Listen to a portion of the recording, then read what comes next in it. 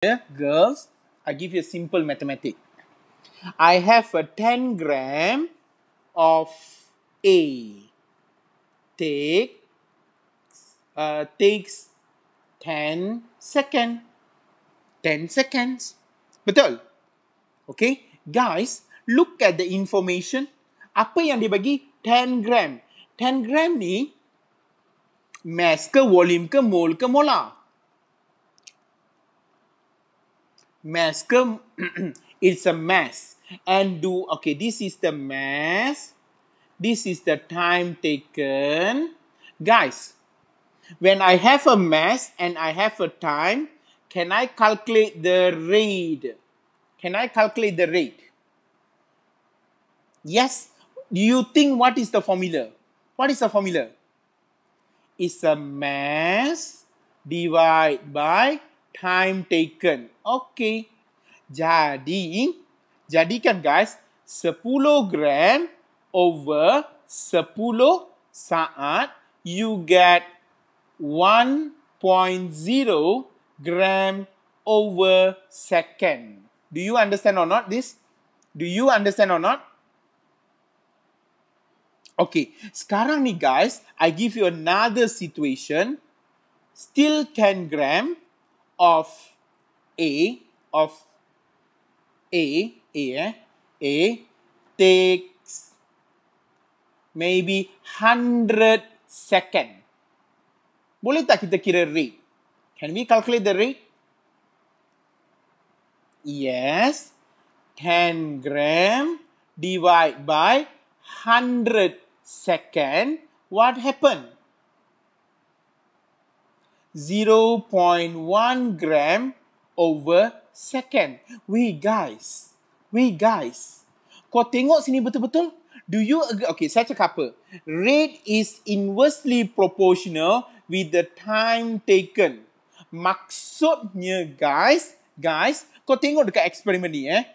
10 second to 100 second. Time dia increase ke, uh, increase ke decreases? Increase or decreases? Time increases. Guys, when the time increases, what happened to the rate? What happened to the rate? Time increases, rate decreases. Sebab itulah, tengok sini. Daripada satu dia jadi 0.1. Ini dipanggil inversely proportional. That's why lah this is called as the inversely proportional.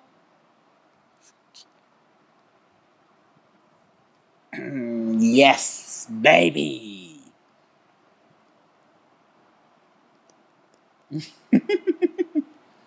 so this proof to us time and rate are interrelated. Time and rate are interrelated. Hmm. As the time increases, the rate decreases. This is the proof. Faham? Faham? Faham? Good, baby. Screen capture. shocking math. Apa yang shockingnya? This is basic math lah. Hmm. So now I'm gonna continue. Okay. Eh kalau tak faham tanya eh jangan diam. Okay. Now guys. Now guys, you look at here. Again, rate of reaction. Kadar tindak balas. Kadar tindak balas. Kadar tindak balas dia adalah time time dengan rate ya. Sekejap ya guys. Uh, okay, what do you mean by rate of reaction adalah untuk bahan bertukar jadi hasil. Bahan bertukar jadi hasil. Iaitu masa yang diambil. Jadikan guys, jadikan lah guys, secara matematik kan, Matematik kan? Macam mana nak tulis secara matematik? Rupa-rupanya, the rate secara matematik, dia adalah inversely proportional. Do you know how to write inversely proportional symbol? This is inversely proportional with 1 over time taken. Yes, 1 over time taken. Eh guys, guys, saya nak tanya kamu. Dekat calculator kamu, ada tak this symbol? Do you have this symbol? Ada tak symbol ni? Do you have this symbol? No, tak ada. Simbol apa yang ada? Simbol apa yang ada? You selalu ada simbol sama dengan. You tak akan ada simbol inversely proportional. You cannot find the inversely proportional symbol in your normal calculator. Therefore, kan guys, like I teach you, we're going to change this to this.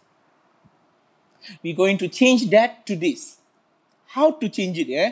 When you have a rate, this is mathematics, yeah? guys, this is mathematics.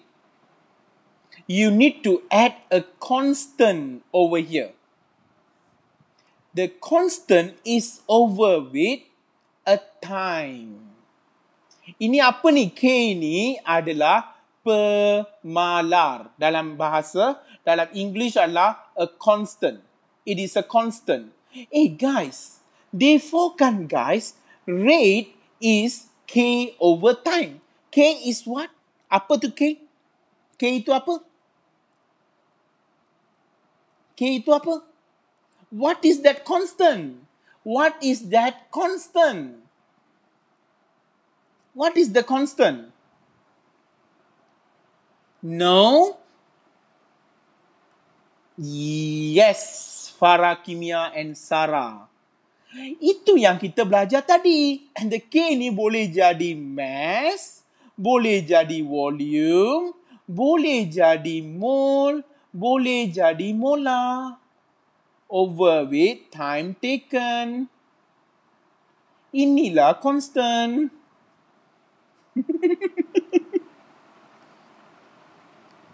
Chemist to maths do. This is the chemistry. Yes, I told you in this particular chapter, we have a lot of calculation. We have a plenty of calculation.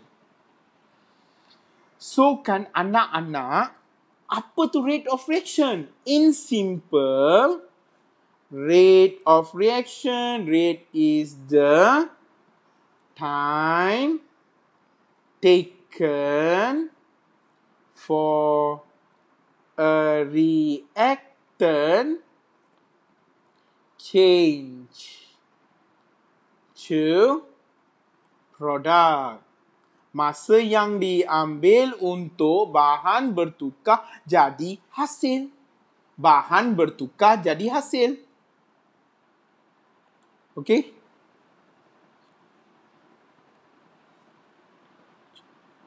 Okay, good it is time taken, 1 over time taken for the reactant change to product. Ah. Faham? Screen capture. Screen capture. Okay, good. Guys, in chemistry, or in fact in physics also, we are very concerned about unit. In physics, chemistry, we are very concerned about our the unit. Apa what you are talking, Sarah? Wey, apa yang kau orang sembang ni?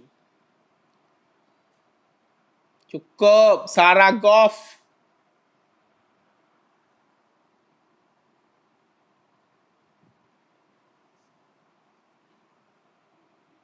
Okay, done.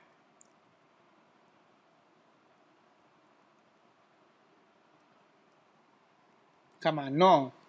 I cannot see what you wrote At the left. Oh, rate is the time taken for a reactant change to product. Okey tak? Masa yang diambil untuk bahan bertukar menjadi hasil. Oh, korang tak nampak eh skrin kat sini? Tak nampak ke? Hmm.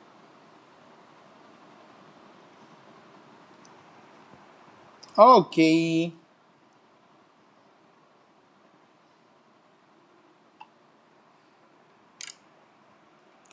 Okay, jadikan guys, let's go.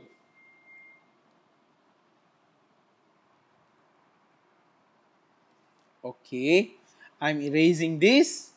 Okay, you tengok eh. Sekarang ni kita dah belajar rate. rate can be uh, mass over time. Jisim bahagi masa. Atau volume bahagi masa. Mol bahagi masa. Allah. Masa. And molar bahagi masa. Let's look the unit. Let's have a look the unit. Guys, normally kan dekat makmal, mass. What is the unit of the mass? Yes, normally gram over second. Tak ada lagi engkau buat eksperimen dekat sekolah kilogram over second. Korang buat eksperimen dalam test tube, bukan dalam baldi. Baldi tu dah dahsyat sangat dah. Ada ke main ambil satu kilogram kalium, ambil satu kilogram kalium, letak campak dalam baldi terbang baldi tu.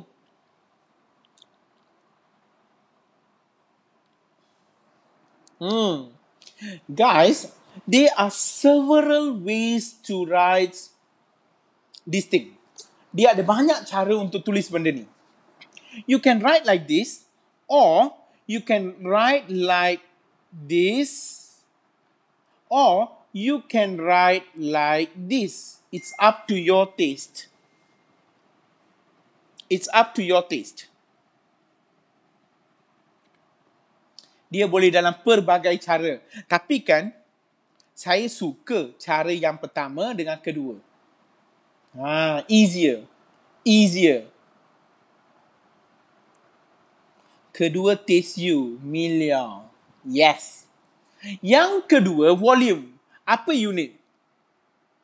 Boleh kali dah, you kan suka semua. So, jeramiah memang untuk you. So, what happened? Untuk volume, you can have cm cubic over second. Kalau tak nak, you can have milliliter over second. You can have dm cubic over second. You can have liter over second. Boleh je. Boleh je, tak ada masalah. Hmm. Volume banyak sikit dia punya unit. Hmm. Untuk mole, dia tak ada banyak. Untuk mole tak ada. You ada mole over second. Only. Korang perasan tak? Selalunya, in chemistry, we prefer to use second. Tak adanya kita ada cm cubic over months, week, years, decade, century. Kau ingat kau duduk kat lab tu satu abad.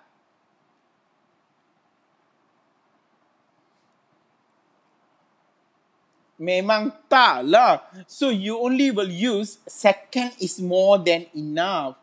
One D. Uh, betul Amar? satu mililiter over decade.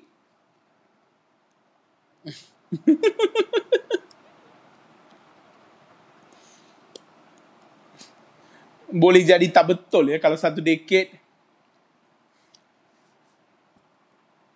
Okay, untuk molar, untuk molar dia ada banyak cara. First, you can write a molar over second. Or you can write molar. What is the short form for molar? I have teach you in acid and base. Short form for molar.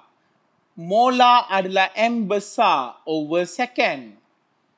Atau you tak suka unit ini, you boleh guna mol dm cubic over second. Mol dm cubic over second. Ini semua unit yang boleh diterima untuk molar.